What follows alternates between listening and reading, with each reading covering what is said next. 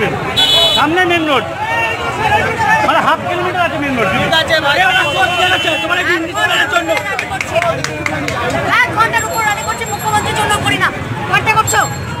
নতুনভাবে আবার বিতর্কে জড়ালেন তৃণমূল কংগ্রেসের সাংসদ অভিনেত্রী নুসরাত জাহান। অশোকনগরে তৃণমূল কংগ্রেসের প্রার্থী নারায়ণ গোস্বামীর হয়ে খোলা জিপে প্রচার করছিলেন নুসরাত। প্রায় এক ঘণ্টার প্রচারের পর নুসরাত জিপ থেকে নামতে চাইলে তাকে আরও আধ ঘণ্টা প্রচারের অনুরোধ জানান এলাকার তৃণমূল নেতারা।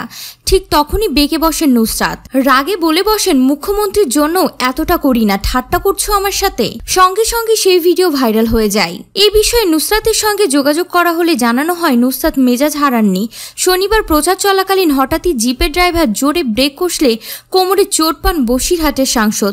তখনই তিনি গাড়ি থেকে নেমে যেতে চান। এলাকার তৃণমূল নেতারা সেটা কিছুতেই বুঝতে চাইছিলেন না। প্রথম হাত নেড়ে ইশারা করেন তিনি, পরে জিপ থেকে নেমে যান।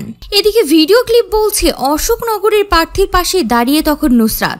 একজন কর্মকর্তা নুসরাতকে বলেন, সামনে রাস্তা আরও অনেকটাই লম্বা, কিন্তু আপনাকে পুরোটা যেতে হবে না, আর আধ কিলোমিটার মতো গেলেই হবে। সেই অনুরোধেই হঠাৎ মেজাজ হারান নুসরাত। বলে ওঠেন, আমি এক ঘণ্টার উপর রেলি করছি। মুখ্যমন্ত্রীর জন্য এতটা করি না। ঠাট্টা করছ? তো ভিউয়ার্স পরবর্তীতে লেটেস্ট আপডেট নিউজ পেতে আমাদের সঙ্গেই থাকুন। বিনোদন জগতের সত্য খবর সবার আগে দেখার জন্য সাবস্ক্রাইব করুন টিউবলাইট নিউজ আর পাশে থাকা বেল আইকনটি ক্লিক করুন, যেন আমাদের প্রতিটি ভিডিও নোটিফিকেশন আপনার কাছে পৌঁছে যায়।